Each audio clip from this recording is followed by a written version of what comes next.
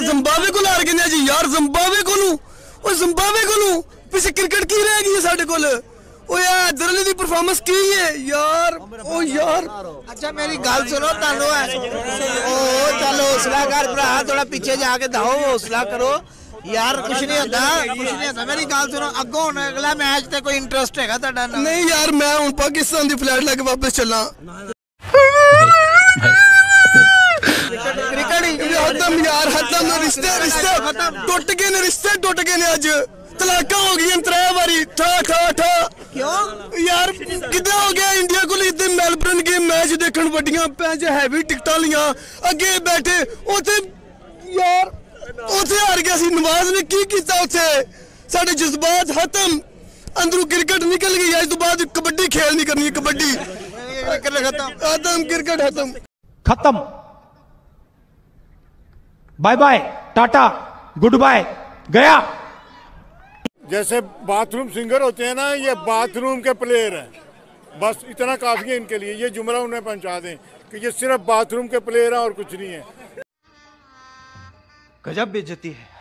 Bathroom की इससे इससे बढ़ के बाहर आ जाए तो खत्म है आप दूसरी टीम भी तो अच्छी खेली है ये भी तो देखे ना। यार उसको तो हम वेल्टन जिम्बाब्वे कह रहे हैं। उसको हम जिंदाबाद कह रहे हैं। ज़बरदस्त कह रहे हैं। आपने शुरू में अप्रिशिएट करते मशवरा हैं। क्या देंगे इनको बाबा जी मशवरा क्या है? इनके दिल दिमाग अंदर साफ़ होंगे तो सारा कुछ ठीक हो जाएगा। फील्डिंग इनको करनी नहीं आती। पहले सब किसी को सबको लगाएँ सफाइयों पे या फील्डिंग पे लगाएँ। ग्राउंड पे ग्राउंड साफ़ कराएँ तो इनको कोई फील्डिंग करें। जब फील्डिंग आ जाएगी ठीक हो जाएँगे। तो और भाई इनके अंदर कोई चीज़ ही नहीं है।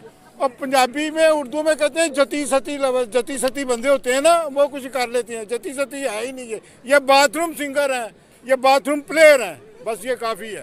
भाईजान क्या हुआ है आज? अब भाईजान ये क्यों इन्होंने अगर हमारा मिडिल ऑर्डर है क्या? आप मुझे ये बताएँ अगर ओपनर सारे आउट हो जाते हैं तो मिडिल ऑर्डर क्या कर रहे हैं? छनके आगे बचाने आया इधर। ये क्या कर रहे हैं भाई? भाई चैंपियंस ट्रॉफी में ये बर्गर पीछे खा रहे थे इधर क्या कर रहे हैं? यार? क्या कर रहे हैं? जब तक बाबर आज़म कैप्टन है ये इस टीम का कुछ नहीं बन सकता। बस दरुद पाक पे और दुआओं पे टीम है। पहले मुल्क के हालात देख लें ऊपर से ये छोटी छोटी खुशियाँ हैं लेकिन वो भी ज़ाया जिम्बाब्वे से मतलब ये क्या चल रहा है? ठीक है?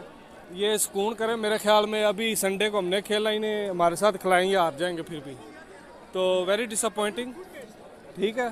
तो अभी आपके सामने पता नहीं क्या आप चलना आगे। आए जी, हमजा साहब, आप भी कितना दुख हुआ आज की हार का? सर, मेरे ख्याल से पाकिस्तानी टीम में ना थोड़ी सी कॉमन सेंस होनी चाहिए थी। इतना छोटा टोटल है। एटलीस्ट प्रॉपर खेलें। मिडिल ऑर्डर पहले भी नहीं चला, अब भी नहीं चल रहा।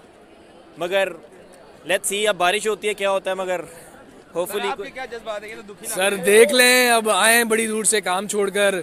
सारे दोस्त जमा हुए थे पाकिस्तान को सपोर्ट करने के लिए। लेकिन आप परफॉर्मेंस देख लें बाबर की कंसिस्टेंटली कुछ परफॉर्म ही नहीं कर रहा। फिर उसके बाद आप हैदर अली को देख लें किस तरह से वो आउट हो रहा है। आसिफ अली को भी देख लें।